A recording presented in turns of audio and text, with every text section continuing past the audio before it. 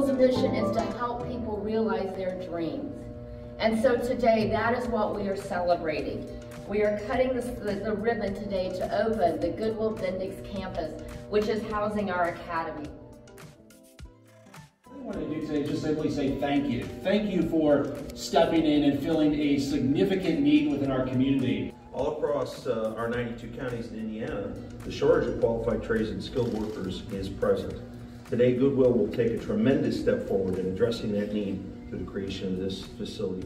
Uh, Tony mentioned and, and Rudy both about the economic development piece as we are working to attract new business and new investment, new families to our community. Resources like this are such a critical uh, piece of our story. So really uh, thrilled and very excited to be here.